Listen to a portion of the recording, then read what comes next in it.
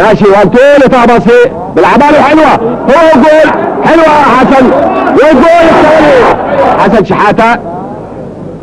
ماشي وانتول طابسي بالعبالة حلوة. هو جول حلوة حسن.